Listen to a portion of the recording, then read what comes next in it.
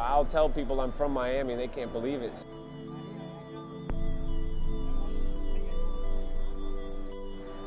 It's personal to the painter, you know. Um, you want to know their signature, and it's what you see with any any great painter throughout the years. You know it by their strokes. You know it by what they created, and I, I like to partake in that. You know, I love the word art and getting elaborate and being able to get away with everything, but um, I think that's becoming so powerful we could forget about the importance of the painter. Most people don't know Jona Cerwinske by his name, but they are beginning to know him by his unique artworks.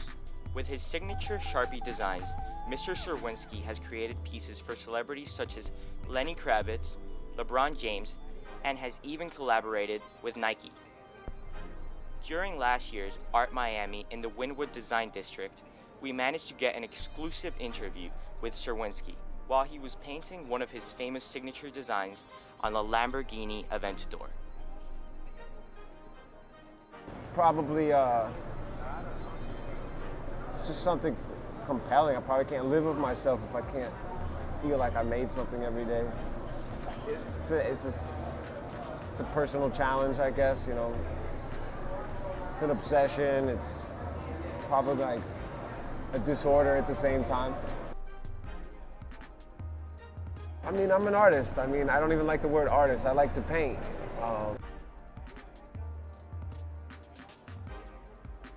it's actually almost a disruption to think that you need to paint on time for something, and it, it's a, it's a, it's a, it's an interesting uh, balance because you want to partake in it, but at the same time you paint because, or make what you make because that's what you did, not because of any schedule or anything. But it's good to see everybody getting together doing their thing. We look forward to seeing where Mr. Cerwinske's unique talents take him.